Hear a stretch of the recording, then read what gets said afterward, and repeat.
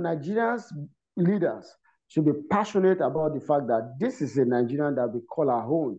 We don't have any other country we can call our own. They must be passionate and be patriotic. And when you are patriotic, you will probably you not want to do something that is outside of, of the constitution. And when you are compassionate, you know, uh, you know, when you have compassion um, uh, uh, to your fellow human being, to, to your fellow Nigerians, there's severely likely you are not going to steal from from from the pulse of the uh, of the of the nation to feed yourself because the compassion is there. So for me, uh, just like I admonish the leaders, it's the same thing that has to do with the followers.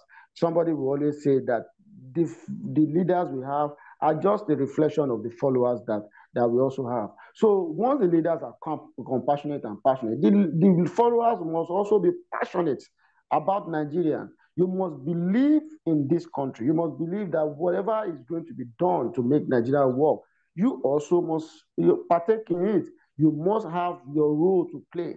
If the government is doing it, you also have a role to play.